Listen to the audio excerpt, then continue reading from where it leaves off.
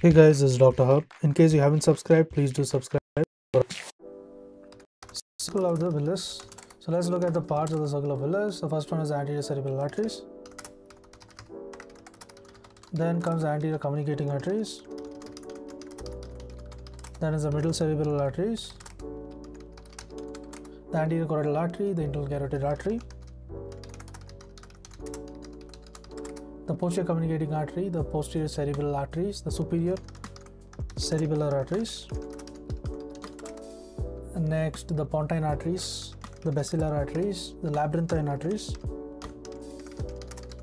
as well as the AICA, that is anterior inferior cerebral artery, the vertebral arteries, the anterior spinal arteries, and the posterior inferior cerebellar arteries. To learn and grow daily like this, please do subscribe.